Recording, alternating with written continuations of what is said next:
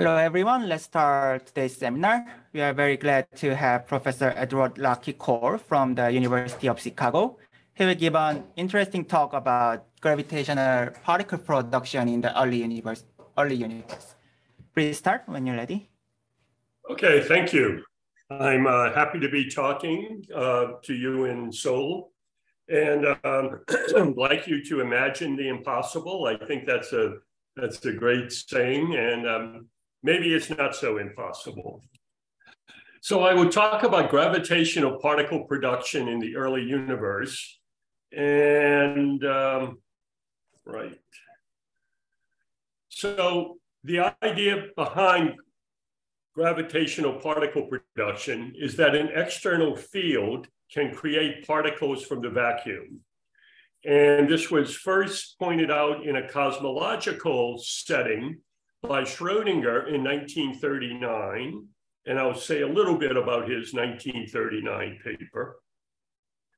It's a well-known phenomenon in uh, QED that strong electric fields can create particles. This is called the Schwinger effect. Uh, and Schwinger wrote the final paper about this in 1951. And external gravitational field can create particles from the vacuum from Hawking radiation from black holes. But I will concentrate on time-dependent gravitational fields, in particular, the Big Bang.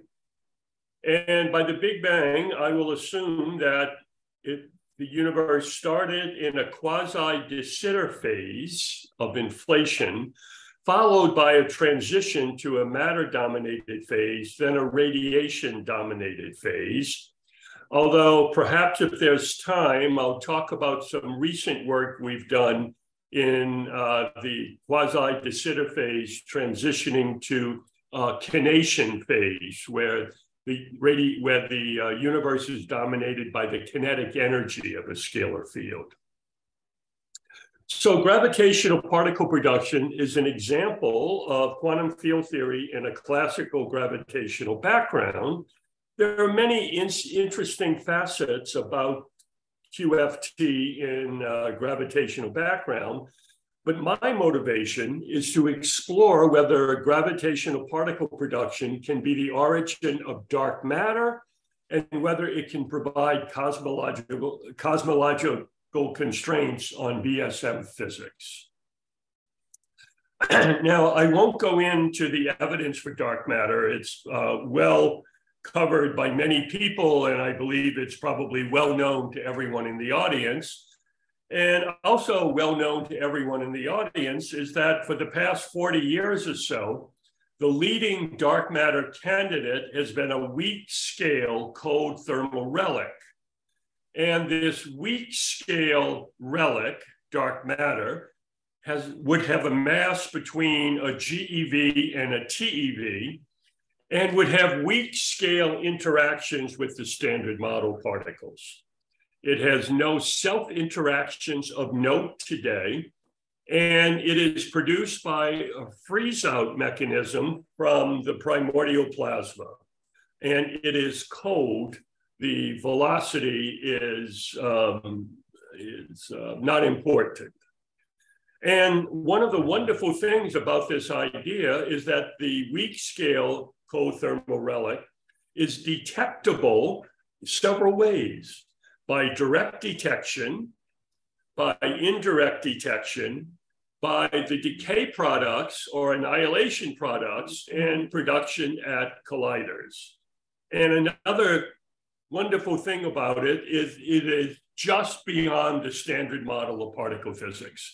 So it has nothing to do with Planck scale physics or uh, physics at the string scale, grand unified scale, or anything like that. It would involve physics just beyond the standard model. So these, this is a wonderful idea, but unfortunately, the weak scale cold thermal relic has not been seen, at least convincingly seen. It hasn't been seen in direct detection. Now, there's always the Dama Libra question. Uh, it hasn't not been seen in indirect detection. There's a galactic center excess, uh, in gamma rays that is not completely understood and may be a signal of dark matter annihilation.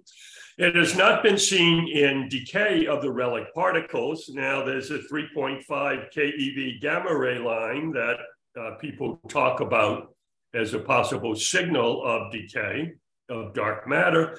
And it hasn't been seen in colliders and or accelerators. And in fact, colliders or accelerators, to me, has not seen any signal beyond the standard model.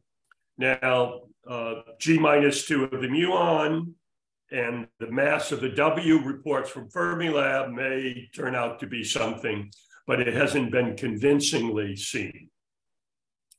So this leads us to raise a question, perhaps dark matter does not interact with standard model particles, or to say it another way, it interacts only gravitationally.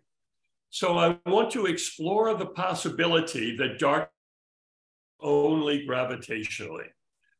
Well, if it interacts only gravitationally, gravity must play a role in its cosmological production, but gravity is weak. So, how can gravitational particle production produce dark matter? Well, there are several ideas, and one I will concentrate on. One idea is through something that's known as the misalignment mechanism. So the equation of motion of a scalar field is written here. And uh, during inflation, a scalar field has quantum fluctuations. So the dispersion of the scalar field is essentially h over 2 pi, where h is the expansion rate during inflation. So generally, the scalar field would not sit at the minimum of the potential, but would be displaced by a value approximately h over 2 pi. Once inflation ends, the inflaton, this inflation, uh, this field would be, after inflation, the field would be frozen by Hubble drag, this term in the equation of motion, until the expansion rate of the universe drops to approximately or below the mass of this scalar field. And after that, it oscillates about the minimum of the potential with an energy density in the oscillating field. And an example of dark matter production through this misalignment mechanism is the axion. Now, um, there are other ways, it doesn't have to be the axions. There are other particles where you might imagine uh, the misalignment mechanism producing dark matter. Another idea for gravitational particle production is to produce particles through Hawking radiation from primordial black holes. This has recently been proposed by three of my colleagues from Fermilab. And the idea is there are primordial black holes that are formed in the early universe. They're not large enough to survive to be the dark matter today. They evaporate but in the evaporation of black holes, you can produce particles that only have gravitational interactions. And um, the estimate for the value of omega h squared in a dark matter particle that's produced by primordial black hole evaporation depends upon the mass of the, of the uh, dark matter particle. It depends upon the temperature of the universe when evaporation occurs. And it depends upon the efficiency of black hole production in the early universe. And these are representative values for those parameters that are in this paper by Hooper et al. And um, you see that omega h squared of 0.12 which is the value we want for dark matter, is possible uh, for the masses around 10 to the 11 GeV, temperature of 10 to the 12, and efficiency of 10 to the minus 16. Now, primordial black holes are of current interest seems to me that every 10 years or so, there's a great deal of interest in primordial black holes, then it dies away, then there's a great deal of interest. It's sort of a, a periodic signal in the interest uh, in primordial black holes. The seeds from primordial black holes can be put down from inflation. And for this to be a viable dark matter candidate, it assumes the dark matter mass is about 10 to the 11 GeV, and masses in this range I will refer to as a WIMPzilla. So a WIMPzilla is a very massive dark matter candidate. And by very massive, I mean it's too massive to be a cold thermal relic. And that means the mass must be larger than about 200 TeV, but often 10 to the 11 or 10 to the 12 GeV will come up as a potential dark matter mass. So this is what I mean by a WIMPzilla.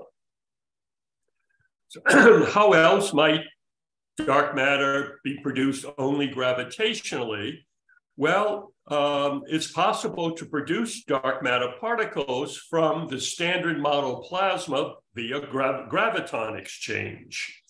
And um, uh, Sandora, and Sloth looked at this recently and calculated omega h squared.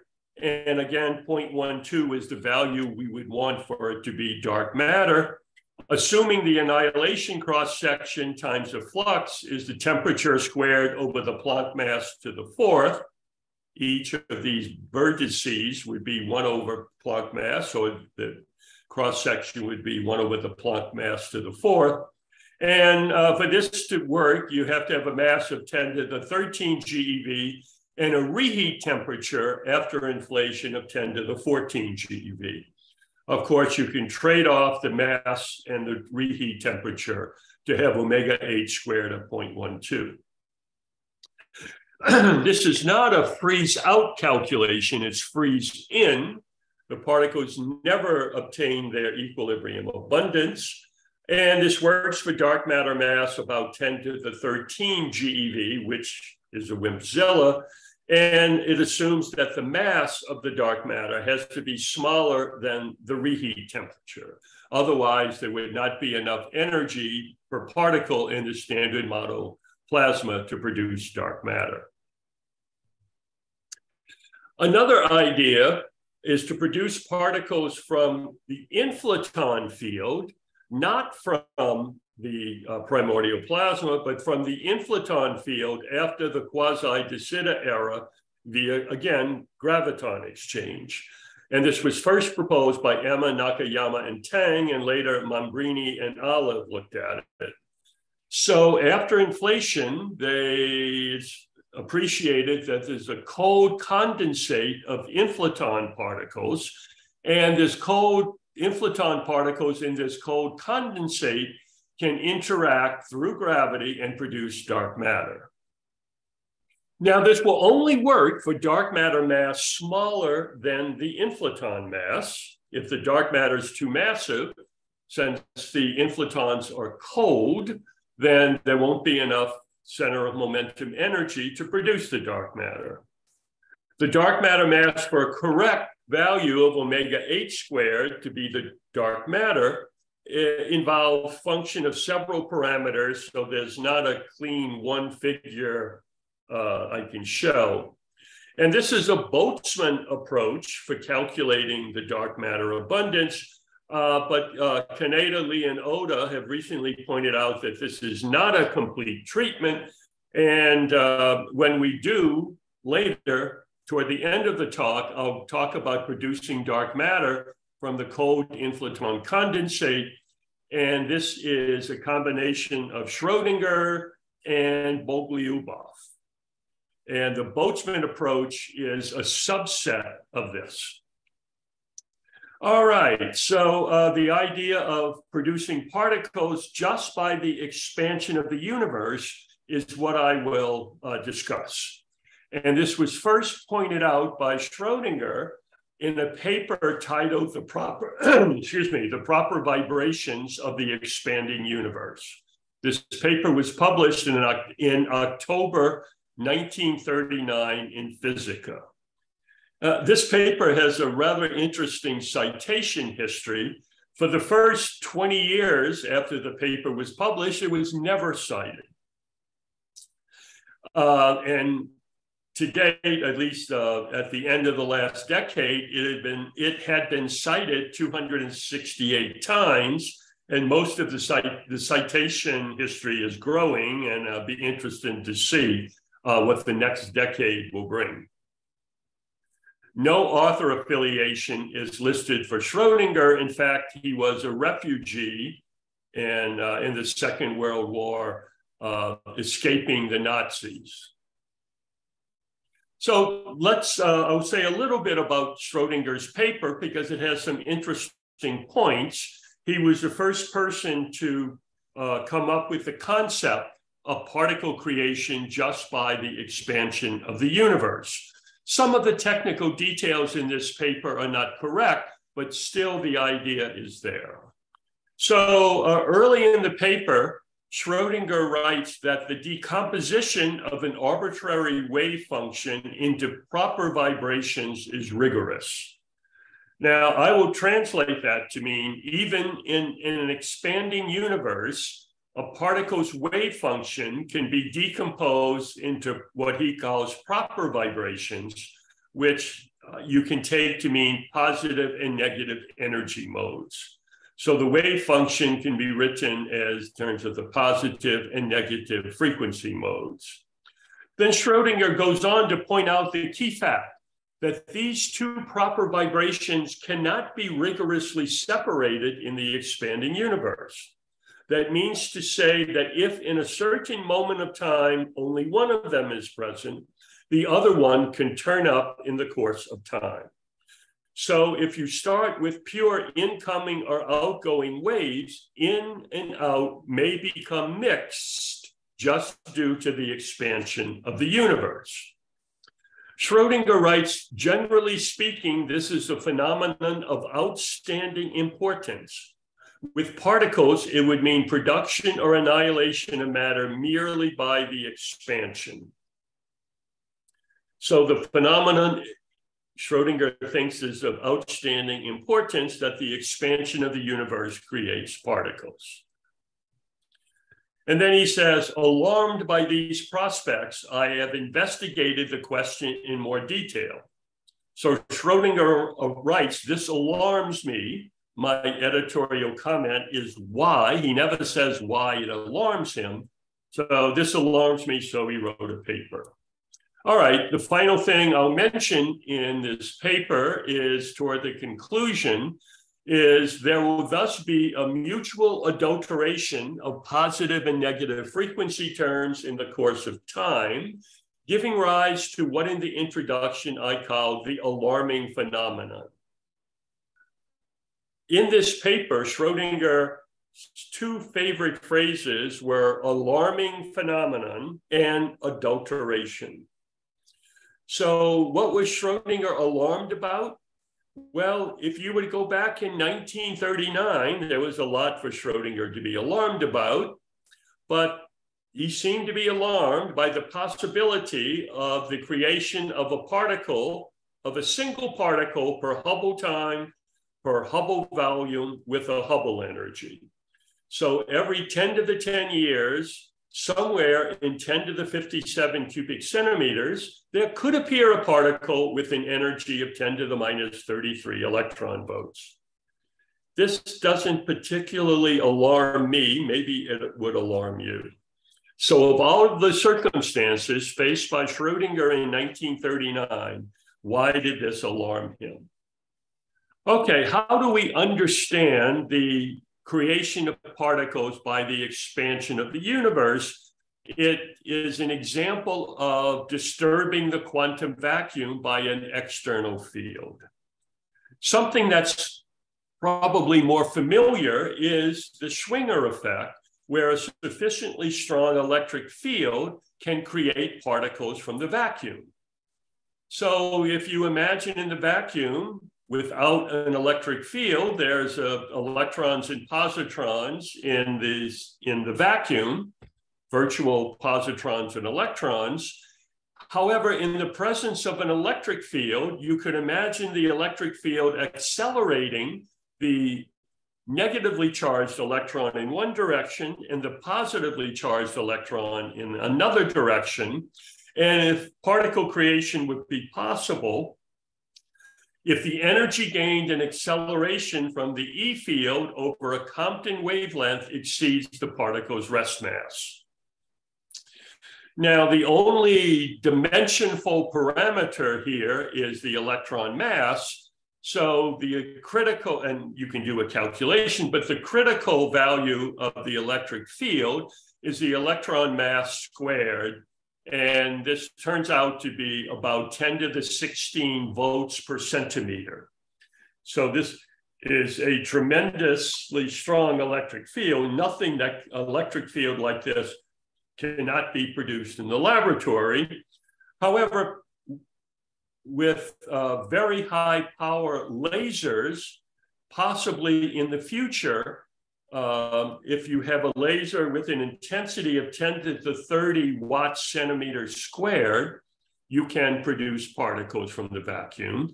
Or if you have a magnetic, a large magnetic field, then you have large electric fields. If you would have a magnetic field of about five times 10 to the 13 Gauss, you can create particles from the vacuum. Now, five times 10 to the 13 Gauss is not obtainable in the laboratory, but there are astrophysical situations where there are magnetic fields of that magnitude, and perhaps in magnetars and things like that, this phenomenon occurs. So this is something that's well understood in QED. Uh, the fact that it was possible was first proposed by Sauter and Heisenberg and Euler, and Weisskopf worked on it, and uh, Julian Schwinger in 1951 put the final touches on it. So a strong external electric field can create particles from the vacuum. And uh, thinking of this, you can maybe understand how the expansion of the universe can lead to particle creation. So uh, you can imagine an, an electron and a positron coming out of the vacuum being caught in the expansion of space. So they're being pulled apart due to the expansion of space. And you can have particle creation if the energy gained in acceleration from the expansion of space over a Compton wavelength exceeds the particle's rest mass.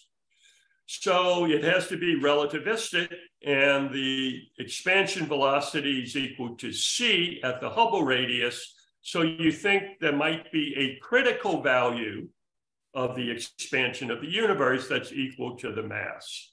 And this essentially is Schrodinger's alarming phenomena from 1939. So in 1939, Schrodinger said this is of outstanding importance. He said, again, generally speaking, this is a phenomenon of outstanding importance. With particles, it would mean the production or annihilation of matter merely by the expansion. He doesn't say why that would be of outstanding importance. So after 1939, this paper was forgotten in the 40s, 50s, and 60s, also by Schrodinger. Uh, the idea of gravitational particle production was first taken up after Schrodinger's paper by Leonard Parker in his thesis in 1966. And Parker is really responsible for the resurgence of interest in gravitational particle production. He wrote a paper in 1968 where he said, for the early stages of a Friedman expansion, it, particle creation, may well be of great cosmological significance, especially since it seems inescapable if one accepts quantum field theory and general relativity. That's true, but Parker has no speculation as to the great cosmological significance. The first attempt of finding a cosmological application was Zeldovich in the 70s, who proposed an application to explain why the universe is homogeneous and isotropic. This did not work. We now understand homogeneity and isotropy as being due to inflation.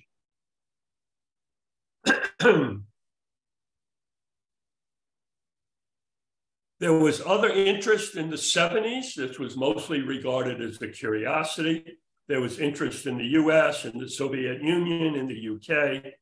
Finally, there was a great cosmological significance to gravitational particle creation, and that is the density perturbations in inflation. Uh, but could there be more? Gravitational particle production is universal, but it's not a large effect. The curvature perturbations produced by gravitational particle production is only 10 to the minus 5 in amplitude. What else could be observable? Dark matter, I will concentrate on CMB isocurvature perturbations and CMB non-Gaussianities. I will concentrate on dark matter and talk a little bit about isocurvature perturbations and non-Gaussianities. So in working um, about dark matter from gravitational particle production, I've started with a paper that I wrote with Dan Chung and Tony Riotto in 1998. And there was a paper, independent paper by Vadim Kuzmin and Igor Tkachev in 1999. Since that time, I've had many collaborators working in this general area, and uh, I'd like to acknowledge their contribution. Okay, so let's take a view of gravitational particle production from a field theory point of view. Now, when you study quantum field theory, you usually study it only in Minkowski space, and you classify particles by their irreducible representation of the Poincare group. But in an expanding universe is not Poincare invariant. There's an arrow of time. And so the notion of a particle, the way we usually think of it as an irreducible representation of the Poincare group, is only approximate. So cosmological expansion leads to a time-dependent Hamiltonian, which will mix positive and negative frequency modes uh, that we can interpret as particle production. so we're going to assume that there's a background geometry, a background uh, gravitational field that's produced by inflation. Now, there is a simple inflationary model, it's a quadratic model for an inflaton potential. Uh, it's a simple model. Unfortunately, it's ruled out by CMB measurements. But the CMB measurements probe the inflaton potential 60 or so e-folds before the end of inflation, and will often be interested where inflation ends when the scalar field is of this value, and the CMB will probe the potential when the scalar field is here. Um, so we'll often be interested in what happens when the scalar field is close to the minimum of its potential, so the quadratic description may be a good approximation. I'll also talk about recent studies employing the hilltop potential model for inflation, which may represent alpha attractor inflation and uh, uh, very interesting classes of inflation.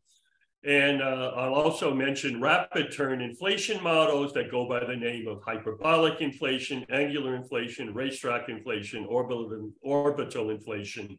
These are slightly more complicated. They involve two, involve two fields. But for the most part, I will just concentrate on quadratic inflation.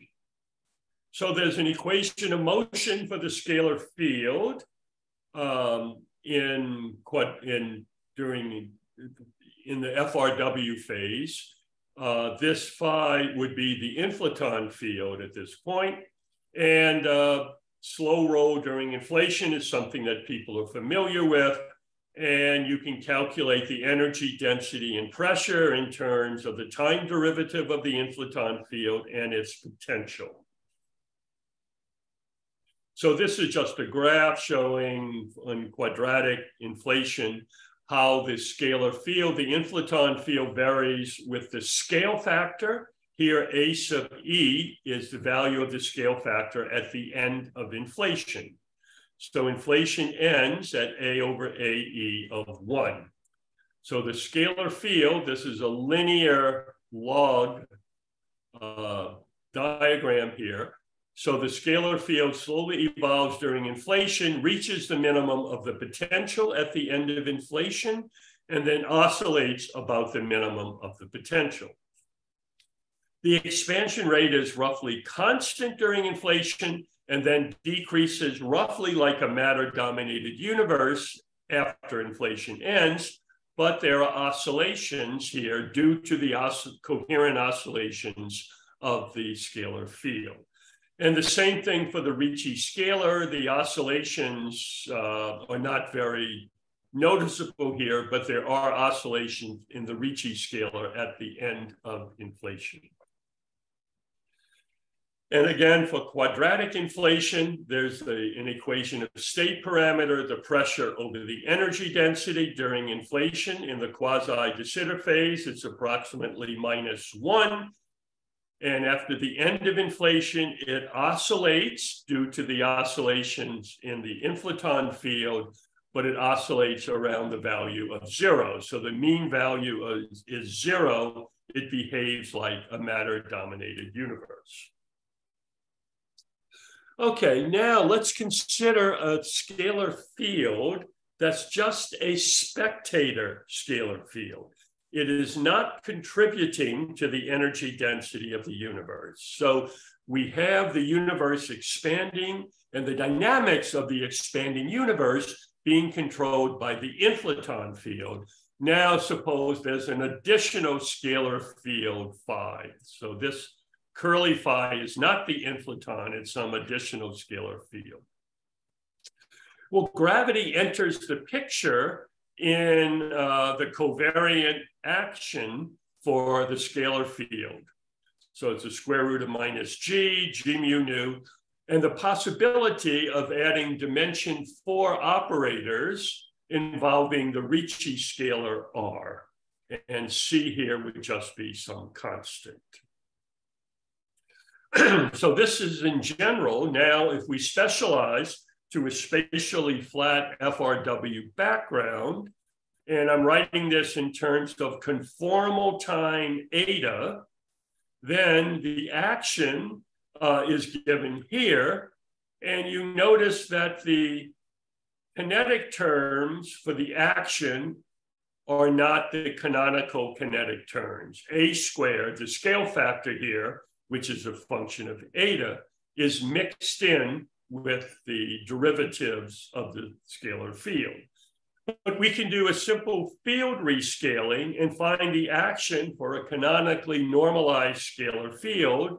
Uh, and it looks like the usual kinetic terms, an effective mass squared, and a surface term, which uh, will go to zero because A times H goes to zero uh, at eta equal to minus infinity and infinity. So the surface term will vanish.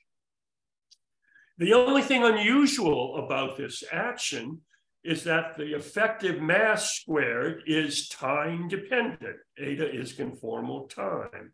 It's time dependent. There's a term that's a squared m squared and a term that's a squared times the Ricci scalar with a factor of 1 6 minus the constant that enters uh, in the action. so cosmological expansion leads to a time-dependent background, which leads to a time-dependent Hamiltonian for the spectator fields. Now, the solutions to a wave equation, that is a wave equation, uh, include both positive and negative frequency terms. So I can write some WKB uh, approximation. There's some coefficient, uh, coefficients alpha and beta. and let's imagine we start with only positive frequency terms. So start with some initial time uh, where this is the solution. Then uh, the second derivative, uh, the wave equation looks like this. And uh, so it's not a solution to the wave equation because of these two terms. So these two terms show that the positive frequency term is not always a solution to the wave equation. You have to develop a negative frequency term.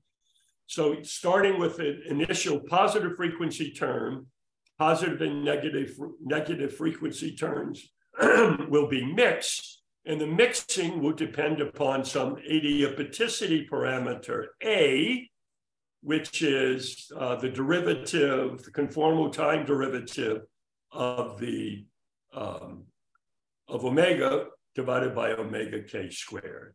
So if a sub k is much less, much less than one, then positive frequency solutions remain a good solution. If this is larger than one or equal to one, positive and negative frequency terms mix. so again, to visualize this, you can just imagine a harmonic oscillator. Um, if you have a simple harmonic oscillator and you vary slowly the spring constant and vary it adiabatically, then the wave function is not going to change. But if the spring constant is very abruptly, non-adiabatically, then the wave function will change and we will interpret this as an excited state. So the mixing of the positive and negative frequency terms depends upon this adiabaticity parameter and uh, depends upon the derivative of the dispersion relation. And for the scalar field, we, we can define some dimensionless parameter alpha, which is the value of the scale factor divided by the scale factor at the end of inflation. Mu, the mass of the spectator field divided by the expansion rate at the end of inflation. And little h is the expansion rate of the universe divided by the expansion rate of the universe at the end of inflation. So this is the adiabaticity parameter for a scalar field. Again, abrupt changes in the scale factor leads to non-adiabatic changes in the frequency, which adulterates the positive and, and negative frequency modes, leading to particle creation in an expanding universe. And where, where the mode becomes non-adiabatic depends upon whether it's minimally coupled with C equal to zero or conformally coupled with C equal to one sixth. If C is equal to one sixth, it becomes non-adiabatic at the end of inflation uh, when modes are sub-Hubble radius. If uh, it's if it's uh, if it's conformally coupled, if it's minimally coupled, um, where it becomes non-adiabatic depends upon uh, the momentum, how the momentum compares to the scale factor. Now, we have a mode equation, we have an, and then we have to have initial conditions. So as the scale factor goes to zero at early times, omega squared, it goes to k squared. So this motivates the Bunch-Davies or Minkowski initial conditions for the scale for the um, mode function and its derivative. And it's the usual um, solution for the mode function and its derivative. And again, as the scalar field goes, as the conformal, conformal time goes to minus infinity, the physical momentum is much larger than h, and the field should not feel the curvature of space-time. So you would expect Minkowski initial conditions. And I make no apologies for these in initial conditions. So the solution to the wave equation generally includes both positive and, and negative frequency terms. And if you start with only outgoing waves, beta is equal to zero. In the evolution, if things become non-adiabatic, then you would produce incoming waves, beta is not equal to zero. And you can go through the calculation of the energy density, et cetera, and the co-moving number density of particles depends upon this Bogoliubov uh, coefficient beta. So I'll often have Na cubed, which is the co-moving number density of the particle. It's uh, just the integral over momentum of beta of k squared. And also it's useful to find the spectral density of the particles produced. and that is n sub k, which is 1 over 2 pi squared k cubed beta of k squared. So this is uh, an example of, a, of the solution to the mode equations for a conformally coupled scalar, c is equal to 1 6, and uh, when the mass is, is equal to the expansion rate at the end of inflation. This is a figure showing how the frequent how the uh, frequency changes with time. Uh, at early times, omega k squared is just k squared. K is 10 to the minus 2. K squared is 10 to the minus 4. At late times, it grows, omega k squared grows as a squared. This is, this is the result for the adiabaticity parameter. At early times, when the scale factor is small, it's adiabatic. And at late times, it approaches zero. But there's an intermediate time around the end of inflation when the mode, this mode is non-adiabatic. And this is the spectral density produced as a function of A, the scale factor, and the, you see that's not, you can't call this particle creation yet, but the mode becomes non-adiabatic around the end of inflation when the non-adiabaticity parameter is the largest. so this is a graph showing the spectral density for several values of the mass for conformally coupled scalars and the important thing that I want to demonstrate here is that it is a blue spectrum, by which I mean the spectrum vanishes in the infrared as k goes to zero. So once, so you would calculate the spectral density for each value of k and then integrate to find NA cubed, the co-moving number density. And this is the co-moving number density for a scalar field, for a conformally coupled scalar field. And I'll show this also for a Majorana fermion, looks very similar. Uh, because for conformally coupled scalar, the conformal symmetry is only broken by the mass term. And since the metric is conformally Minkowski, the massless conformally coupled scalar does not feel expansion. So as the mass goes to zero, there's not going to be particle creation.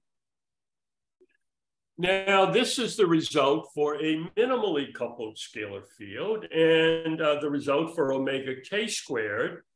And if the mass is not too large and k is not too large, the Ricci scalar during inflation is negative, so omega k squared can be negative. And this will show the region where omega k squared is negative.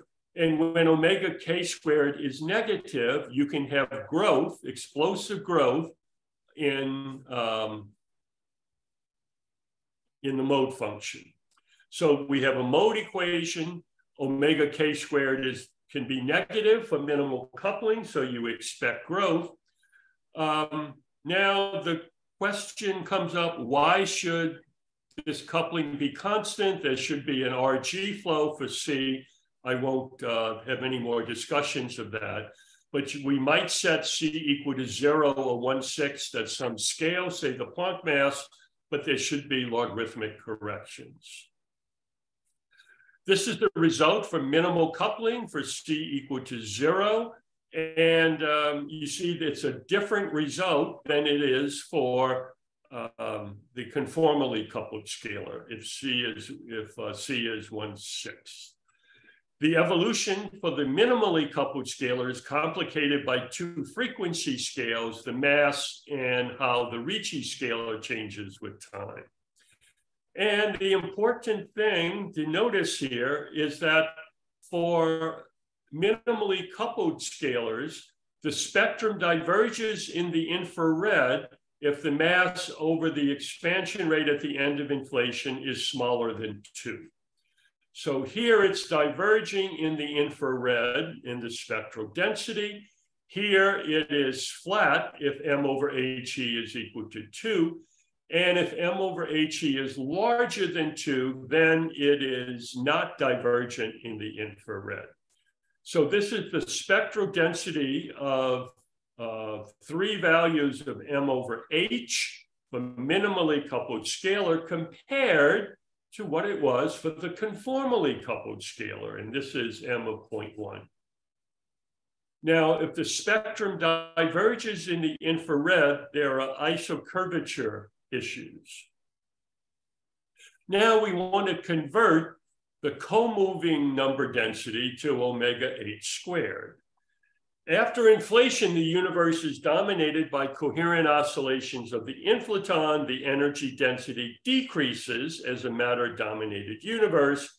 Eventually, the inflaton decays, reheating the universe and uh, evolves as a radiation-dominated universe, eventually become matter-dominated around Z equal to 30,000, then dark energy dominated again at a redshift of about one.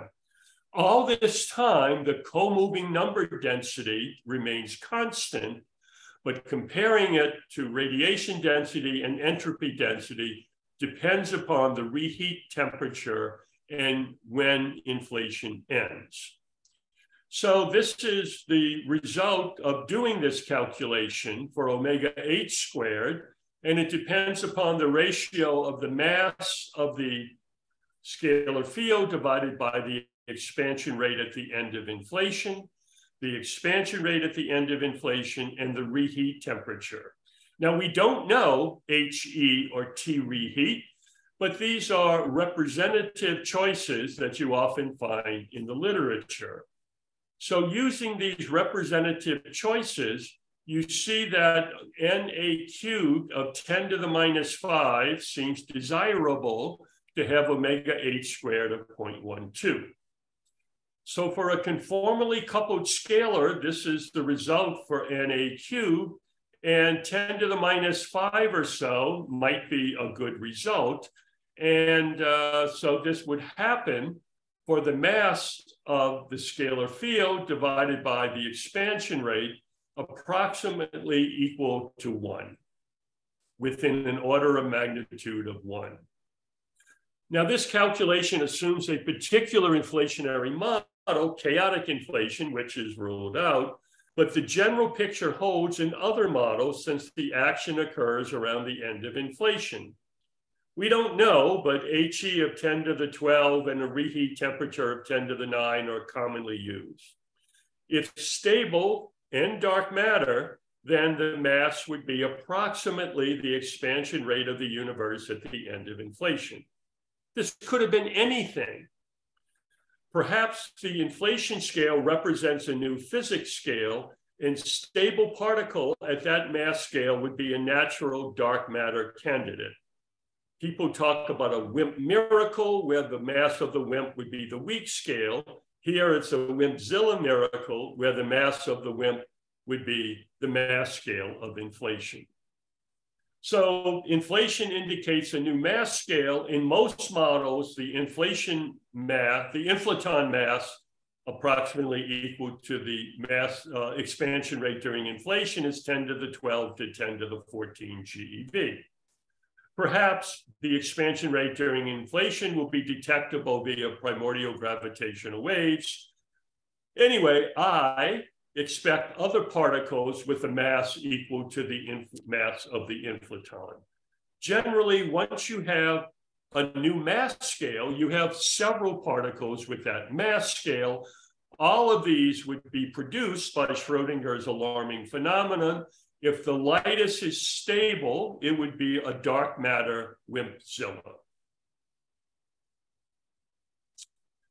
So this just uh, summarizes what I said before. Again, we want, uh, this is the spectral density for, for minimally coupled scalars. You would have to have the mass smaller than two in order to have it, um, uh, to avoid the isocurvature issues. Uh, if it's conformally coupled, it will always be blue. you want 10 to the minus 5 or so for uh, n sub k. And this will happen again for conformally coupled scalar around 1, for minimally coupled scalars also um, uh, m over he of approximately equal to 4. So the minimally coupled scalar is not a good dark matter candidate unless it has a mass of about four or five times He.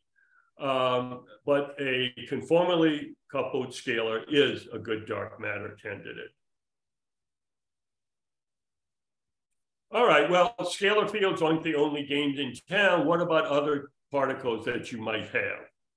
Well, this is the Lagrangian for a real scalar field. How about a Dirac field? And again, if you're in curved space, uh, it's a little bit more complicated. Uh, spin one fields, massive spin one fields.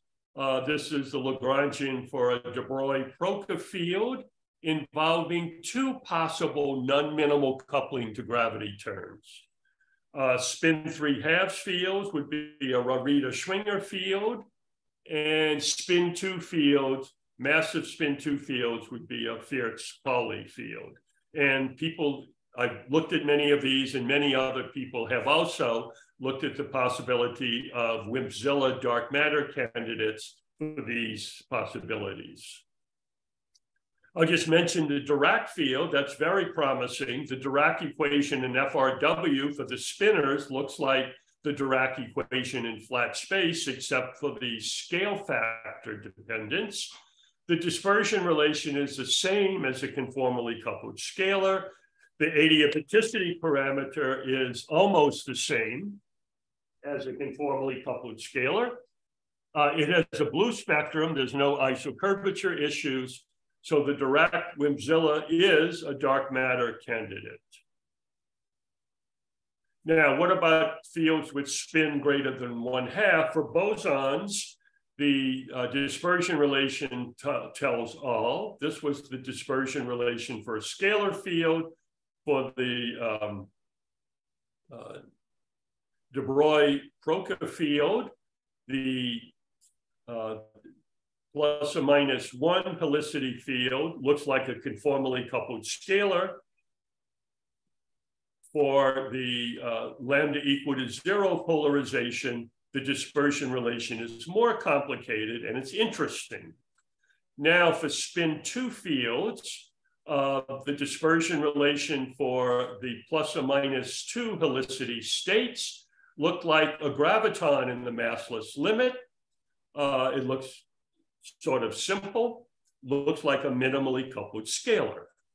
The lambda equal to plus or minus one polarizations in the SVT polarizations um, is more complicated. And for the uh, lambda equal to zero polarization, the dispersion relation is an incredibly complicated expression that's way too long to show in a, in a transparency. So the de Broglie-Proca field is in the FRW background is interesting for the longitudinal modes. And this was pointed out by Graham Mardon and Rajendran in 2016, Ahmed and collaborators in 2020, and Andrew Long and I elaborated on it uh, in 2020 also. Um, for the longitudinal modes, the power spectrum is blue tilted at low K negligible power on CMB scale, so there's no problem with isocurvature, even if the mass is much smaller than the expansion rate during inflation. For late reheating, um, you would have a uh, omega h squared for a WIMPZilla. For early reheating, you can have dark matter for a mass as small as a micro electron volt. This was pointed out by Graham Mardon and Rajendran. And uh, this is an example, just a graph just showing that the longitudinal component is most important. The transverse component of the spin one field is not produced, uh, not produced anywhere near as close as the longitudinal component. All right, so I'll have to uh, wrap up. I'll just say a few words about a Fierz Pauli field in an FRW background. It was, it should be once thought that massive gravity theories had a ghostly six degree of freedom at the nonlinear level until DRGT showed how to construct ghost-free um, massive spin two gravity. And Hassan and Rosen showed how to construct ghost-free bimetric theories with the correct number of propagating degrees of freedom.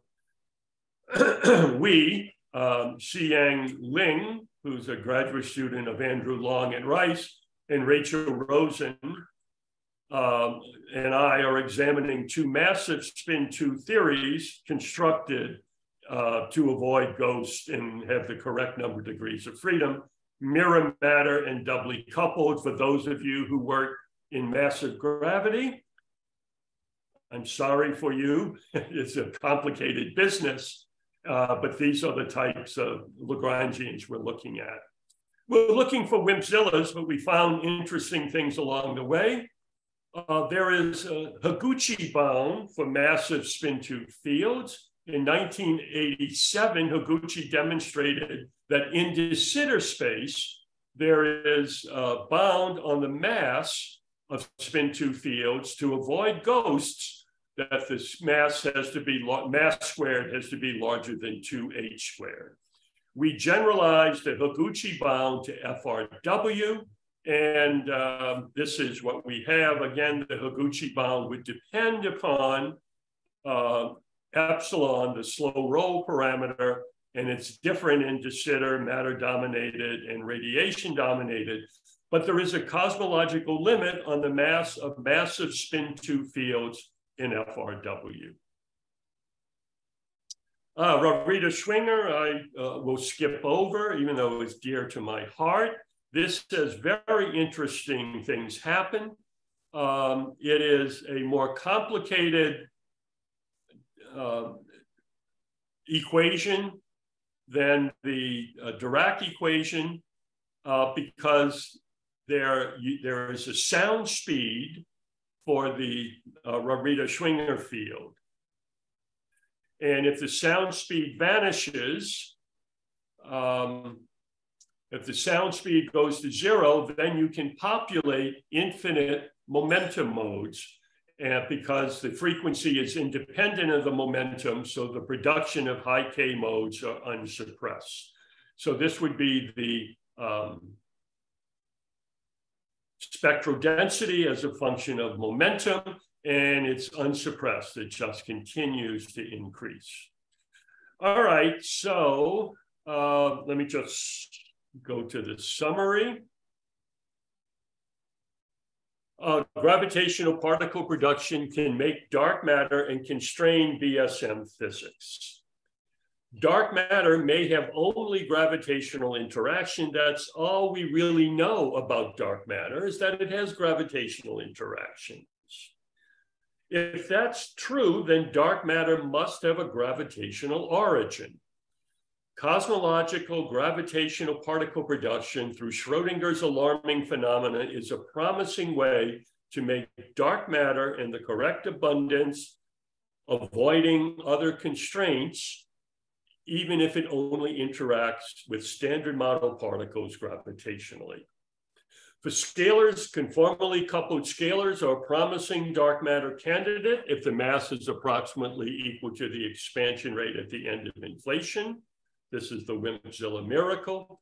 I don't think minimally coupled is a promising dark matter candidate. If there's late reheating, omega h squared is much too large unless the mass is larger than a few he. Early reheating, again, the same result. There's isocurvature constraints, again, unless the mass is larger than a few times he.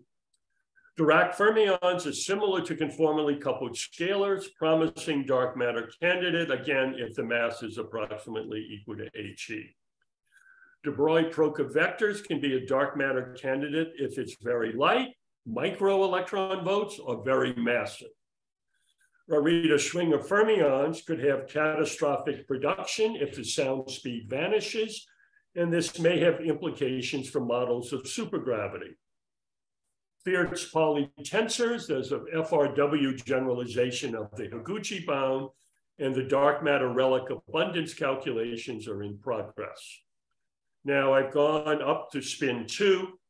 Alexander Jensen McDonald had looked at spins greater than two, and this is something for future work. So I have a question to leave you with. What do we make of a quantum field theory that is perfectly reasonable in Minkowski space, but pathological in the expanding universe? Example would be Fierz-Pauli or spin two fields with a small mass. These would be pathological in FRW, but perfectly normal in Minkowski space. All right, so I had to rush through a little bit at the end, but coming soon to a Reviews of Modern Physics near you is a, is a review I'm writing with Andrew Long, Cosmological Gravitational Particle Production and its implications for the origin of dark matter. So uh, thank you very much. I'll stop now because I've um, gone on for an hour and I'd be happy to elaborate on any uh, things that I rushed over. So thank you very much.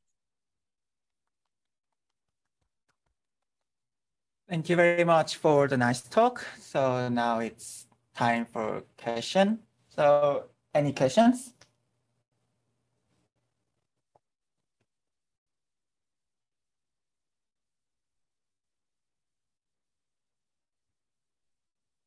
Okay, uh, thanks for good talk. Um, my question maybe that I'm asking you a comment about the stability of such massive particles.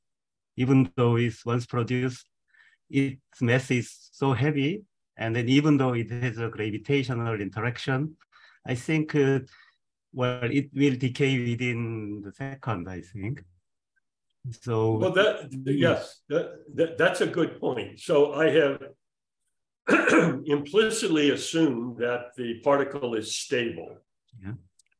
Now, it only has gravitational interactions with standard model particles, but even if it's very massive, even these, um, if it's only gravitational interactions by um, uh, um, graviton exchange or something, you could imagine it decaying. So there has to be some other symmetry that you have to Uh, uh, uh, impose to ensure that it's stable. So that's a very good point. You have to ensure that this dark matter particle would be stable. Yeah. But you know, the, the same type of thing comes up for um, other dark matter candidates. You, even though it's massive, you have to assume that something keeps it stable. Mm-hmm. That's a good point. Thank you. I should have mentioned that. Okay, thank you.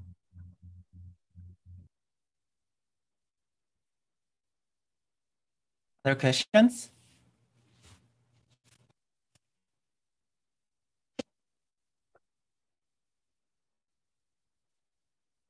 Uh, hello? Yes. Yeah, uh, thank you for the nice talk. So I have a question. So uh, you mentioned uh, about no Gaussianity, but uh, probably running out of time, so you didn't mention, elaborate. So what's the problem? Is there any issues with this uh, no Gaussianity? Okay, let me, uh, let me go back to sharing my screen. Am I sharing my screen? Uh, no, I cannot see your screen. Okay, so let me go up here and share the screen.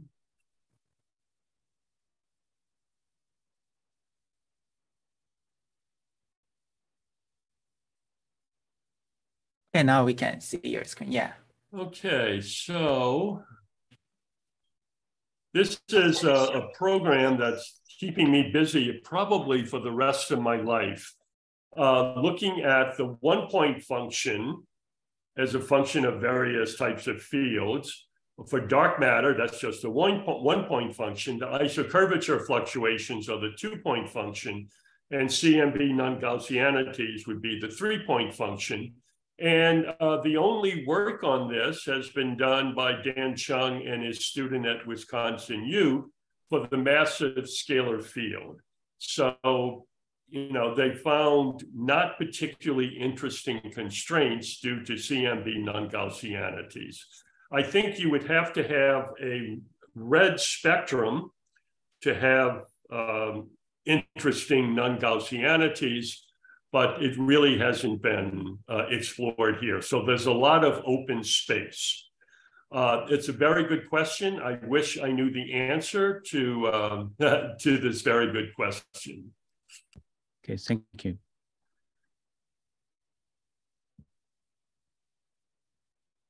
So people are pointing out that I have a lot more work to do.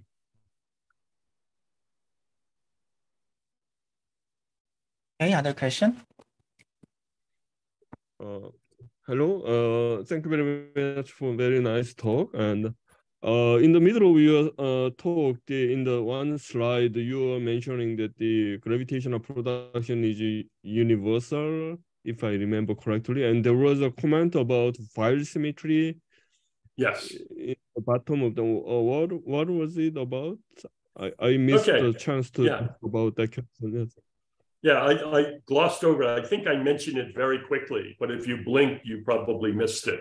Um, so the spatially flat FRW is um, conformally equivalent to Minkowski. Yes. So the metric is just a squared times something that looks like Minkowski space. Mm -hmm. Mm -hmm. So if the coupling of this spectator field is conformal, then it will not feel the expansion of the universe in the mode equations. Okay. So somehow you have to break this Weyl conformal symmetry invariance.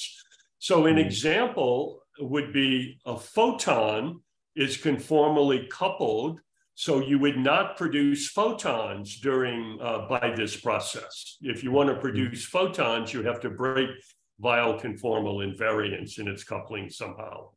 Good. Okay, thank you. And uh, one more question. So you, you are considering, for example, massive spin one, spin three half, spin two, etc. Right, with the right. non-zero mass for those mm -hmm. basically for that reasons. And in the uh, in the Minkowski uh, quantum field theory, the uh, whenever you talk about uh, ma massive spin one or spin three half, etc., you have to actually uh, provide the generate mass generation mechanism for those particles. Right. Unless right. otherwise you will have a unitarity violation problem. Yes. Uh, so, so, so for yes, thank you. So for massive spin one, you can do the Stueckelberg trick and mm-hmm. uh, you know assume there's, there's some different scales. Mm-hmm. So people usually handle the massive spin one fields that way. Mm-hmm. Um, for the massive spin three halves, then um, the usual explanation involves supergravity. Mm-hmm. Uh, and then the, the massive spin three halves field inherits all of the good qualities of the gravitons, and so you don't have to worry about it.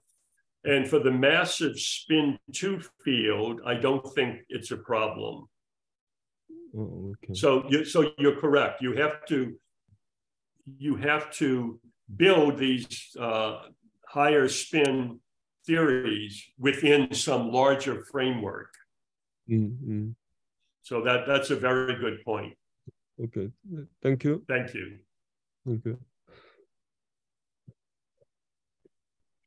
Uh, other questions? Uh, may I ask a question? Sure. Um, that curiosity and related to P1's uh, um, question about the conformal symmetry. Um, it's, well, nevertheless, it's a classical symmetry and anyway broken by quantum corrections, yes. like through the renormalization group running of couplings.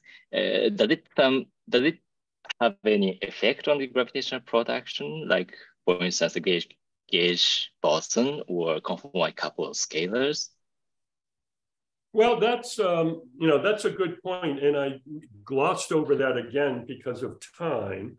But if you just look at, for instance, a conformally coupled scalar field, uh, that would require in the notation C equal to one sixth. Mm-hmm. But you know there should be RG corrections to that, right? Mm-hmm. So that depends upon scale. That's the quantum mm-hmm. effects that you have in mind. Mm-hmm. Those quantum effects are usually ignored in thinking that they're small effects. Mm-hmm. And I, I think they should be studied more. So, you know, that, that's a very good point. I see. Okay, thank you.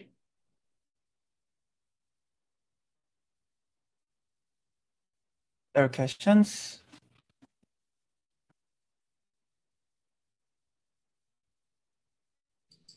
Okay, can uh, I ask a question? Yeah. Okay, thank you very very good talk. But it will be a very basic question, but though, yeah, I know that the uh, frequency of mode function is negative, then the particle interpretation is not possible. Then how can I accept the notion of the number density, for example, of those particles? Yes. yes. So while the evolution is non-adiabatic, so you can, uh, let me back up. You can really only define a particle if the evolution is adiabatic. So in the er, very early time, in the beginning of inflation, the evolution is adiabatic. At the end of inflation, in the matter, deep in the matter dominated phase, the evolution becomes adiabatic again. In the intermediate phase, as your intuition tells you, it's non adiabatic. And the definition of a particle, well, you shouldn't think of the things as, a, as, as particles. So you can really only define a particle in the in the adiabatic phases that doesn't mean that so things happen. So I, I don't I shouldn't call it the particles. And when I say production of particles, you produce excitations in the field that eventually, when it becomes adiabatic, you can interpret as particles. Did, mm -hmm. did that help? Okay, okay, we have help. Thank you very much.